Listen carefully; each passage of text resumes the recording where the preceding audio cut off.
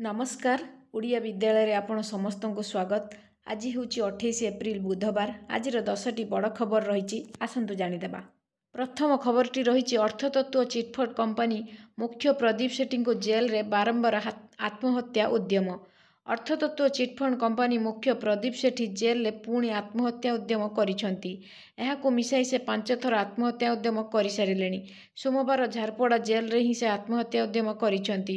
ଏହା ପୂର୍ବରୁ ଦୁଇହଜାର କୋଡ଼ିଏରେ ଜେଲର ୱେଲଫେୟାର ରୁମ୍ରେ ବାଥରୁମ୍ରେ ଥିବା ଇନଭର୍ଟର ତାରକୁ ବେକରେ ଗୁଡ଼ାଇ ସେ ଆତ୍ମହତ୍ୟା ଉଦ୍ୟମ କରିଥିଲେ। ପ୍ରଦୀପଙ୍କ ମାନସିକ ସ୍ଥିତି ଖରାପ ଥିବାରୁ ସେ ଏମିତି କରିଥାଇପାରନ୍ତି ବୋଲି ଜେଲ୍ କର୍ତ୍ତୃପକ୍ଷ କହିଛନ୍ତି। ସୂଚନାଯୋଗ୍ୟ ଯେ ଚିଟଫଣ୍ଡ ଠକେଇ ମାମଲାରେ ଜମାକାରୀଙ୍କଠାରୁ ହଜାର ହଜାର ଟଙ୍କାର ଠକେଇ କରି ସେ ସଜା କାଟୁଛନ୍ତି। ତେବେ ମାନସିକ ଭାରସାମ୍ୟ ହରାଇ ବାରମ୍ବାର ଏଭଳି ଆତ୍ମହତ୍ୟା ଉଦ୍ୟମ କରୁଥାଇପାରନ୍ତି ବୋଲି ଜେଲ୍ କର୍ତ୍ତୃପକ୍ଷ ମତ ପ୍ରକାଶ କରିଛନ୍ତି। ପରବର୍ତ୍ତୀ ଖବରଟି ରହିଛି ପଶ୍ଚିମ ଓଡ଼ିଶାରେ କରୋନା ମୁକାବିଲା କରିବା ଲାଗି ବାର୍ ଓଏସ୍ ଅଫିସର ନିଯୁକ୍ତି କଲେ ଓଡ଼ିଶା ସରକାର। ରାଜ୍ୟରେ କରୋନା ସଂକ୍ରମଣ ଦିନକୁ ଦିନ ବଢ଼ି ଚାଲିଛି। ଏଥିରୁ ପ୍ରାୟ ପଚାଶ ପ୍ରତିଶତ ସଂକ୍ରମିତ ପଶ୍ଚିମ ଓଡ଼ିଶାରୁ ଚିହ୍ନଟ ହେଉଛନ୍ତି। ତେବେ ପଶ୍ଚିମ ଓଡ଼ିଶାର ଯେଉଁ ଜିଲ୍ଲାଗୁଡ଼ିକରେ ସଂକ୍ରମଣର ହାର ଅଧିକ ରହିଛି ସେହି ଜିଲ୍ଲାଗୁଡ଼ିକୁ ବାର ଜଣ ଓଏସ୍ ଅଫିସରଙ୍କୁ ଡେପୁଟେସନରେ ପଠାଇଛନ୍ତି ଓଡ଼ିଶା ସରକାର। ସେମାନେ ହେଲେ ହେମନ୍ତ କୁମାର ମାନସିଂ ବିବେକାନନ୍ଦ ସାହୁ ଶ୍ଵେତ କୁମାର ଦାସଙ୍କୁ ନୂଆପଡ଼ା ଦାୟିତ୍ୱ ଅଯୋଧ୍ୟାକାନ୍ତ ଶତପଥୀ ଓ ଦିଲ୍ଲୀପ ମହାପାତ୍ରଙ୍କୁ ବଲାଙ୍ଗୀର ଦୁର୍ଗାପ୍ରସାଦ ମହାପାତ୍ର ଧୀରେନ୍ଦ୍ରନାଥ କରଙ୍କୁ ବରଗଡ଼ ମଧୁସୂଦନ ବେହେରା ପ୍ରଭାତ ସାହୁ ସନ୍ତୋଷ ଦାସଙ୍କୁ ସନ୍ତୋଷ ଦାସଙ୍କୁ ସମ୍ବଲପୁର ଆଶିଷ ଜେନା ଓ ଦେବାଶିଷ ପଟ୍ଟନାୟକଙ୍କୁ ଗଲେ ସୁନ୍ଦରଗଡ଼। ପରବର୍ତ୍ତୀ ଖବରଟି ରହିଛି ଅକ୍ସିଜେନକୁ ନେଇ। ଦେଶରେ ଅକ୍ସିଜେନ ଅଭାବ ମେଣ୍ଟାଇବାକୁ ଅଣ୍ଟା ଭିଡ଼ିଛି ଷ୍ଟିଲ୍ ଓ ପେଟ୍ରୋଲିୟମ ମନ୍ତ୍ରାଳୟ। ପ୍ରଧାନମନ୍ତ୍ରୀଙ୍କ ନେତୃତ୍ୱରେ ସମଗ୍ର ଭାରତ କରୋନା ବିରୁଦ୍ଧରେ ଲଢ଼େଇ ଜାରି ରଖିଛି। ଗତ କିଛି ଦିନ ଧରି ଦେଶର ବିଭିନ୍ନ ରାଜ୍ୟରେ ଅକ୍ସିଜେନର ଅଭାବ ଦେଖାଦେଇଥିଲା ବେଳେ ଷ୍ଟିଲ୍ ପେଟ୍ରୋଲିୟମ ମନ୍ତ୍ରାଳୟ ସମଗ୍ର ଦେଶରେ ଥିବା ବିଭିନ୍ନ ଉଦ୍ୟୋଗ ଆଗେଇ ଆସିଛନ୍ତି। ଏହି ଅଭାବକୁ ପୂରଣ କରିବା ଲାଗି। ତେବେ ବର୍ତ୍ତମାନ ସମଗ୍ର ଭାରତର ଅକ୍ସିଜେନ ଉତ୍ପାଦନ କ୍ଷମତା ସାତ ହଜାରରୁ ସାତ ହଜାର ଦୁଇଶହ ମେଟ୍ରିକ ଟନ୍ ଥିଲାବେଳେ ଏହାକୁ ବାଦ୍ ଦେଇ ଏହି ଦୁଇ କ୍ଷେତ୍ରରୁ ଚାରି ହଜାର ଚାରି ହଜାର ପାଞ୍ଚଶହ ମେଟ୍ରିକ ଟନ୍ ଅକ୍ସିଜେନ ଭାରତର ବିଭିନ୍ନ ରାଜ୍ୟକୁ ଯୋଗାଇ ଦିଆଯାଇଛି। କେନ୍ଦ୍ରମନ୍ତ୍ରୀ ଧର୍ମେନ୍ଦ୍ର ପ୍ରଧାନ ନିଜ ତତ୍ତ୍ୱାବଧାନରେ ଏହାର ଦୈନନ୍ଦିନ ଉତ୍ପାଦନ ଓ ଯୋଗାଣକୁ ତଦାରଖ କରୁଛନ୍ତି। ଷ୍ଟିଲ୍ ପ୍ଲାଣ୍ଟଗୁଡ଼ିକ ସେମାନଙ୍କର କ୍ଷମତାଠାରୁ ଅଧିକ ଅକ୍ସିଜେନ ଉତ୍ପାଦନ କରୁଛନ୍ତି। ପ୍ଲାଣ୍ଟଗୁଡ଼ିକର ରିଜର୍ଭ କ୍ଷମତା ଥ୍ରୀ ପଏଣ୍ଟ ଫାଇଭରୁ କମାଇ ଜିରୋ ପଏଣ୍ଟ ଫାଇଭକୁ ମଧ୍ୟ କମାଇ ଦିଆଯାଇ ଦେଶରେ ଦେଖାଯାଇଥିବା ଅଭାବକୁ ମେଣ୍ଟାଇବା ଲାଗି ଉତ୍ସର୍ଗୀକୃତ ବୋଲି ଶ୍ରୀ ପ୍ରଧାନ କହିଛନ୍ତି। ରାଷ୍ଟ୍ରୀୟ ଇସ୍ପାତ ନିଗମ ଲିମିଟେଡ୍ ଓ ଅନ୍ୟ ଏକ କମ୍ପାନୀ ଯାହା ଷ୍ଟିଲ୍ ମିନିଷ୍ଟ୍ରି ଅଧୀନରେ ଆସୁଛି ଏହି ଦୁଇଟି ଉତ୍ସରୁ ଶହେ ଚଉରାଳିଶ ଶହେ ଚାଳିଶ ଟନ୍ ଅକ୍ସିଜେନ ପ୍ରତ୍ୟେକ ଦିନ ମେଡିକାଲମାନଙ୍କୁ ଯୋଗାଣ ହେଉଛି। ରେଳବାଇ ପକ୍ଷରୁ ଆରମ୍ଭ କରାଯାଇଥିବା ପ୍ରଥମ ଅକ୍ସିଜେନ ଏକ୍ସପ୍ରେସ୍ ଭାଇଜାଗ ଷ୍ଟିଲ୍ ପ୍ଲାଣ୍ଟରୁ ବାଇଶ ତାରିଖ ଦିନ ଶହେ ଟନ୍ ଅକ୍ସିଜେନ ନେଇ ମହାରାଷ୍ଟ୍ର ଅଭିମୁଖେ ଯାଇଥିଲା। ପରବର୍ତ୍ତୀ ଖବରଟି ରହିଛି ଅସହ୍ୟ ତାତିରୁ ମିଳିବ ନିସ୍ତାର। ଆଜି ଓ ଆସନ୍ତାକାଲି ରାଜ୍ୟରେ ବଜ୍ରପାତ ସହ ଝଡ଼ ବର୍ଷା ସମ୍ଭାବନା। ରାଜ୍ୟରେ ଅସହ୍ୟ ତାତିରୁ ମିଳିବ ସାମାନ୍ୟ ନିସ୍ତାର। ଆଜି ଓ ଆସନ୍ତାକାଲି ଘଡ଼ଘଡ଼ି ବଜ୍ରପାତ ସହ ଝଡ଼ ବର୍ଷା ସମ୍ଭାବନା ନେଇ ସତର୍କ ରହିବାକୁ ପରାମର୍ଶ। ପାଣିପାଗ ପକ୍ଷରୁ ୟେଲୋ ୱାର୍ଣ୍ଣିଂ ଜାରି କରାଯାଇଛି। ରାଜ୍ୟରେ ଅନେକ ସ୍ଥାନରେ ତାପମାତ୍ରା ବଢ଼ୁଛି। ପ୍ରଚଣ୍ଡ ଖରା ଓ ଗୁଳିଗୁଳି ଜନଜୀବନ ଅସ୍ତବ୍ୟସ୍ତ ହୋଇଯାଉଛି। ଏହାରି ମଧ୍ୟରେ ରାଜ୍ୟରେ କିଛି ଜିଲ୍ଲାରେ ବର୍ଷା ସମ୍ଭାବନା ଥିବା ଆକଳନ କରାଯାଇଛି। ଆଜି ପାଞ୍ଚ ଜିଲ୍ଲା ଓ ଆସନ୍ତାକାଲି ନଅଟି ଜିଲ୍ଲାକୁ ପାଣିପାଗ ବିଭାଗ ପକ୍ଷରୁ ୟେଲୋ ୱାର୍ଣ୍ଣିଂ କରାଯାଇଛି। ଆଜି ମାଲକାନଗିରି କୋରାପୁଟ ନବରଙ୍ଗପୁର କଳାହାଣ୍ଡି ଜିଲ୍ଲାକୁ ସତର୍କ ରହିବାକୁ ପାଣିପାଗ ବିଭାଗ ପକ୍ଷରୁ ୟେଲୋ ୱାର୍ଣ୍ଣିଂ ଜାରି ହୋଇଛି। ବଜ୍ରପାତ ସହ ଏହିସବୁ ଜିଲ୍ଲାରେ ଆଜି ବର୍ଷା ହୋଇପାରେ। ସେହିପରି ଆସନ୍ତାକାଲି ମଧ୍ୟ ଅନେକ ସ୍ଥାନରେ ବଜ୍ରପାତ ଓ ଝଡ଼ ବର୍ଷା ସମ୍ଭାବନା ରହିଛି। ନଅଟି ଜିଲ୍ଲାକୁ ୟେଲୋ ୱାର୍ଣ୍ଣିଂ କରାଯାଇଛି। ସେହି ଜିଲ୍ଲାଗୁଡ଼ିକ ହେଲା ମାଲକାନଗିରି କୋରାପୁଟ ରାୟଗଡ଼ା ଗଜପତି ଗଞ୍ଜାମ କନ୍ଧମାଳ ନୟାଗଡ଼ କେନ୍ଦୁଝର ଓ ମୟୂରଭଞ୍ଜ। ଝଡ଼ ବର୍ଷା ସମୟରେ ବେଗରେ ପବନ ରହିବାର ପବନ ବହିବାର ମଧ୍ୟ ସମ୍ଭାବନା ରହିଛି। ଆସନ୍ତା ଦୁଇ ଦିନ ଯାଏ ତାପମାତ୍ରାର ପରିବର୍ତ୍ତନ ମଧ୍ୟ ହେବ ନାହିଁ। ପରବର୍ତ୍ତୀ ନ୍ୟୁଜ୍ରେ ରହିଛି କୋଭିଡ୍ ସ୍ଥିତିର ସମୀକ୍ଷା କଲେ ମୁଖ୍ୟମନ୍ତ୍ରୀ। ପର୍ଯ୍ୟାପ୍ତ ଔଷଧ ଓ ଅକ୍ସିଜେନ ଯୋଗାଣ ଉପରେ ଦେଲେ ଗୁରୁତ୍ୱ। ମୁଖ୍ୟମନ୍ତ୍ରୀ ନବୀନ ପଟ୍ଟନାୟକ ଆଜି କରୋନା ସ୍ଥିତିର ସମୀକ୍ଷା କରିଛନ୍ତି। ଏହି ପରିପ୍ରେକ୍ଷୀରେ ସେ ଆଇସିୟୁ ବେଡ୍ ଓ ଔଷଧ ଉପରେ ଗୁରୁତ୍ୱ ଦେଇଛନ୍ତି। ଭିଡିଓ କନଫରେନ୍ସିଂ ଜରିଆରେ ସେ ସ୍ଥିତିର ସମୀକ୍ଷା କରିଥିଲେ।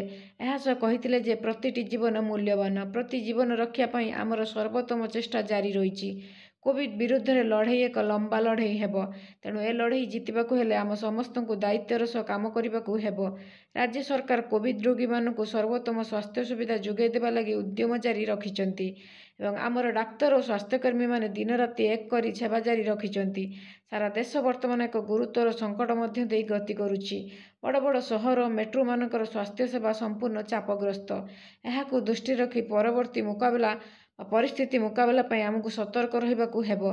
ସେ ଆହୁରି ମଧ୍ୟ କହିଥିଲେ ଯେ ରାଜ୍ୟର କେତେକ ଜିଲ୍ଲାରେ ସଂକ୍ରମଣର ସ୍ଥିତି ଉଦ୍ବେଗ ସୃଷ୍ଟି କରିଛି। ଭାଇରସର ଡବଲ୍ ଓ ଟ୍ରିପଲ୍ ମ୍ୟୁଟାଣ୍ଟ ଦ୍ରୁତଗତିରେ ବ୍ୟାପୁଛି। ଏହି ଦ୍ୱିତୀୟ ଲହରରେ ଯୁବଗୋଷ୍ଠୀ ବିଶେଷ ଭାବରେ ସଂକ୍ରମିତ ହେଉଛନ୍ତି। ସାରା ଦେଶ ବର୍ତ୍ତମାନ ଏକ ଗୁରୁତର ସଙ୍କଟ ମଧ୍ୟ ଦେଇ ଗତି କରୁଛି। ବଡ଼ ବଡ଼ ସହର ଓ ମେଟ୍ରୋମାନଙ୍କର ସ୍ୱାସ୍ଥ୍ୟସେବା ସମ୍ପୂର୍ଣ୍ଣ ଚାପଗ୍ରସ୍ତ। ଏହାକୁ ଦୃଷ୍ଟିରେ ରଖି ପରିସ୍ଥିତିର ମୁକାବିଲା ପାଇଁ ଆମକୁ ସତର୍କ ରହିବାକୁ ହେବ। ପରବର୍ତ୍ତୀ ନ୍ୟୁଜ୍ଟି ରହିଛି ଚିରନିଦ୍ରାରେ ମନୋଜ ଦାସ ସତାଅଶୀ ବର୍ଷରେ ତ୍ୟାଗ କଲେ ଶେଷ ନିଃଶ୍ୱାସ। ଚିରନିଦ୍ରାରେ ମନୋଜ ଦାସ ବିଶିଷ୍ଟ ଲେଖକ ତଥା ସାହିତ୍ୟିକ ମନୋଜ ଦାସଙ୍କ ପରଲୋକ। ଆଉ ନାହାନ୍ତି ମନୋଜ ଦାସ। ସତାଅଶୀ ବର୍ଷ ବୟସରେ ସେ ଶେଷ ନିଃଶ୍ୱାସ ତ୍ୟାଗ କରିଛନ୍ତି। ସେ ପଣ୍ଡିଚେରୀ ଆଶ୍ରମର ହସ୍ପିଟାଲରେ ଚିକିତ୍ସିତ ହେଉଥିଲେ। ଏଠାରେ ହିଁ ତାଙ୍କର ଦେହାନ୍ତ ହୋଇଛି। ମନୋଜ ଦାସଙ୍କ ଦେହାନ୍ତ ନେଇ ତାଙ୍କ ପରିବାର ପକ୍ଷରୁ ସୂଚନା ଦିଆଯାଇଛି। ସେ ଦୀର୍ଘ ଦିନ ଧରି ଅସୁସ୍ଥ ଥିଲେ। ସେ ଅମୃତ ଫଳ ଶେଷତାନ୍ତ୍ରିକର ସନ୍ଧାନରେ ଆରଣ୍ୟକ ଲକ୍ଷ୍ମୀର ଅଭିସାର ଆବୁ ପୁରୁଷ ଶେଷ ବସନ୍ତର ଚିଠି ଅରଣ୍ୟ ଉଲ୍ଲାସରେ ଆଦି ପ୍ରସିଦ୍ଧ ପୁସ୍ତକ ଲେଖୁଥିଲେ। ଦୁଇ ହଜାର ଏକରେ ତାଙ୍କୁ ପଦ୍ମଶ୍ରୀ ଓ ଦୁଇ ହଜାର କୋଡ଼ିଏରେ ପଦ୍ମଭୂଷଣରେ ସମ୍ମାନିତ କରାଯାଇଥିଲା। ପରବର୍ତ୍ତୀ ନ୍ୟୁଜ୍ଟି ରହିଛି କରୋନା କାଳରେ ପିପିଲି ଉପନିର୍ବାଚନ ଘୁଞ୍ଚାଇବାକୁ ଦାବି କଲେ କଂଗ୍ରେସ କାର୍ଯ୍ୟକାରୀ ସଭାପତି ପ୍ରଦୀପ ମାଝୀ। କରୋନା କାଳରେ ପିପିଲି ଉପନିର୍ବାଚନକୁ ଘୁଞ୍ଚାଇ ଦେବା ଲାଗି କଂଗ୍ରେସର କାର୍ଯ୍ୟକାରୀ ସଭାପତି ପ୍ରଦୀପ ମାଝୀ ଦାବି କରିଛନ୍ତି। ସେ ସାମ୍ବାଦିକ ସମ୍ମିଳନୀରେ କହିଛନ୍ତି ଯେ ଆମେ ନିର୍ବାଚନ ଲଢ଼ିବାକୁ ପ୍ରସ୍ତୁତ ଅଛୁ ହେଲେ ଲୋକଙ୍କ ଜୀବନକୁ ବାଜି ଲଗେଇ ନୁହଁ। ରାଜ୍ୟରେ କରୋନା ସ୍ଥିତି ଉପରମୁହାଁ ଥିଲାବେଳେ ଏହି ସମୟରେ ନିର୍ବାଚନ ଲଢ଼ିବା କେତେଦୂର ସମୀଚୀନ। ବିଜେଡି ବିଜେପି ଆଉ ନିର୍ବାଚନ କମିଶନଙ୍କୁ ଅନୁରୋଧ କରୁଛି ପିପିଲି ଡେଲାଙ୍ଗ ଉପନିର୍ବାଚନ ଘୁଞ୍ଚାଇ ଦିଅନ୍ତୁ। ଆମେ ଆମର ଜଣେ ନେତାଙ୍କୁ କରୋନାର ହରେଇ ସାରିଛୁ। ଆମ ଭିତରେ କରୋନାକୁ ନେଇ ଡର ଅଛି। ପିପିଲି ଡେଲାଙ୍ଗରେ ଲୋକଙ୍କ ପାଖକୁ ଗଲେ ସେମାନେ ଘର ତାଟି ପକେଇ ଦେଉଛନ୍ତି। ନେତାଙ୍କୁ ଘର ଭିତରକୁ ପୂରେଇ ଦେଉନାହାନ୍ତି। ଆମେ ନିର୍ବାଚନ ପ୍ରଚାର କରିବୁ କେମିତି? ଏହି ନିର୍ବାଚନ ନ ହେଲେ ସରକାର ଭାଙ୍ଗିଯିବ ନାହିଁ। ତେଣୁ ସମସ୍ତେ ଭୋଟ ଅପେକ୍ଷା ଲୋକଙ୍କ ଜୀବନ କଥା ଆଗ ଭାବନ୍ତୁ। ପଶ୍ଚିମବଙ୍ଗ ଭଳି ପରିସ୍ଥିତି ପିପିଲି ଡେଲାଙ୍ଗରେ ନ ହେଉ। ଆଜି ଆମେ ନିର୍ବାଚନ କମିଶନଙ୍କୁ ଭେଟି ଲିଖିତ ଭାବେ ଉପନିର୍ବାଚନ ଘୁଞ୍ଚାଇବାକୁ ଅନୁରୋଧ କରିବୁ ବୋଲି ସେ କହିଛନ୍ତି। ପରବର୍ତ୍ତୀ ନ୍ୟୁଜ୍ଟି ରହିଛି ନବମ ଶ୍ରେଣୀ ଛାତ୍ରୀଙ୍କୁ ଦୁଷ୍କର୍ମ ଅଭିଯୋଗରେ ସୋରଡା କଲେଜର ଇକୋନୋମିକ୍ସ ଅଧ୍ୟାପକ ଗିରଫ। ଗଞ୍ଜାମ ସୋରଡା କଲେଜ ଇକୋନୋମିକ୍ସ ଅଧ୍ୟାପକ ଗିରଫ। ନବମ ଶ୍ରେଣୀ ଛାତ୍ରୀଙ୍କୁ ଦୁଷ୍କର୍ମ ଅଭିଯୋଗରେ ଆସିକା ପୋଲିସ ଅଧ୍ୟାପକଙ୍କୁ ଗିରଫ କରିଛି। ଗଞ୍ଜାମ ଜିଲ୍ଲାରେ ନବମ ଶ୍ରେଣୀ ଛାତ୍ରୀଙ୍କୁ ଦୁଷ୍କର୍ମ ଅଭିଯୋଗ ହୋଇଛି। ସୋରଡା କଲେଜର ଇକୋନୋମିକ୍ସ ଅଧ୍ୟାପକ ନବମ ଶ୍ରେଣୀ ଛାତ୍ରୀଙ୍କୁ ଛଅ ବର୍ଷ ଧରି ଛାତ୍ରୀଙ୍କୁ ଦୁଷ୍କର୍ମ କରି ଆସୁଥିବା ଅଭିଯୋଗ ରହିଛି। ଏହା ସହ ଅଶ୍ଳୀଳ ଫଟୋ ଓ ଭିଡିଓ ଭାଇରାଲ କରିଦେବାକୁ ମଧ୍ୟ ସେ ବାରମ୍ବାର ଧମକ ଦେଉଥିଲେ। ଆଜି ସୋରଡା କଲେଜ ଇକୋନୋମିକ୍ସ ଅଧ୍ୟାପକଙ୍କୁ ଆସିକା ପୋଲିସ ଗିରଫ କରିଛି। ଗିରଫ ଅଧ୍ୟାପକ ପିତଳ ଗାଁର ପ୍ରଦୀପ କୁମାର ସାହୁ। ଛାତ୍ରୀ ଜଣକ ଅଧ୍ୟାପକ ପ୍ରଦୀପ କୁମାର ସାହୁଙ୍କ ଘରକୁ ଦୁଇ ହଜାର ଚଉଦ ମସିହାରେ ଟ୍ୟୁସନ ହେବାକୁ ଯାଉଥିଲେ। ତେବେ ସେବେଠାରୁ ସେ ଦୁଷ୍କର୍ମର ଶିକାର ହେଉଥିଲେ। ଏନେଇ ସୂଚନା ଦେଇଛନ୍ତି ଥାନା ଅଧିକାରୀ ପ୍ରଶାନ୍ତ କୁମାର ସାହୁ। ପରବର୍ତ୍ତୀ ନ୍ୟୁଜ୍ଟି ରହିଛି ଜାତୀୟ ସଙ୍କଟ ସମୟରେ ହସ୍ତକ୍ଷେପ କରିବା ଆବଶ୍ୟକ ହୋଇପଡ଼ିଛି। ମୂକଦର୍ଶକ ହୋଇପାରୁନି କହିଲେ ସୁପ୍ରିମକୋର୍ଟ। କରୋନା ମହାମାରୀ ସହିତ ଦେଶ ଲଢ଼ୁଥିଲା ବେଳେ ବିଭିନ୍ନ ସମସ୍ୟାର ସମ୍ମୁଖୀନ ହେଉଛି। ଏହିପରି ସମୟରେ ଏହିସବୁ ସମସ୍ୟା ପର୍ଯ୍ୟବେକ୍ଷଣ କରିବା ଲାଗି ଆଜି ସୁପ୍ରିମକୋର୍ଟ ପକ୍ଷରୁ ଏକ ନିଜ ଆଡୁ ଏକ ମାମଲା ଦାଖଲ କରି ଏହାର ଶୁଣାଣି କରିଛନ୍ତି। Justice DY Chandrachud L.